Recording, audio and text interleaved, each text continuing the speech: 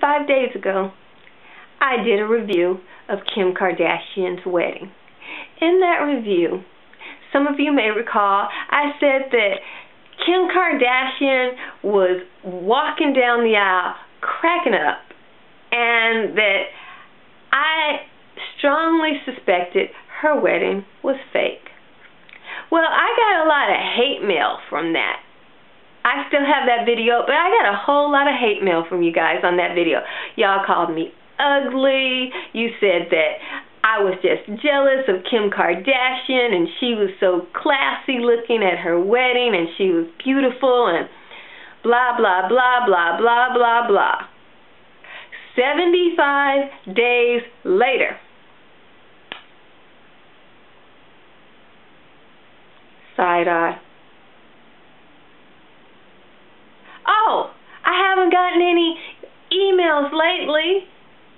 I haven't gotten any letters lately. Oh, now that Kris and Kim are officially filing divorce, oh, nobody has anything to say to me because I looked at a wedding and saw a woman just faking it. I mean, a $17 million fake. And I'm telling you, I'm not hating on Kim nor Kris.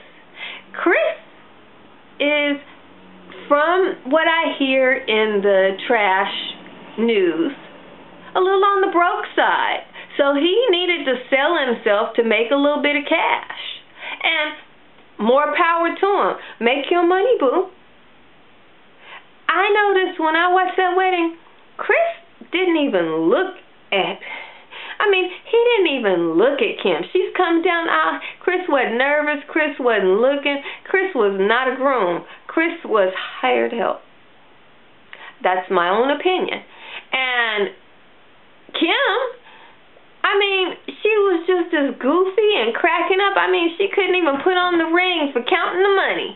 You know, she was running around that wedding, you know, million dollar here, two million dollar there, seventeen million dollar there. And I mean, everybody's talking about, well, Kris is so broken up and Kim just couldn't take the marriage life. I'll tell you what happened. I'm going to tell you what happened. This is the truth in my observation.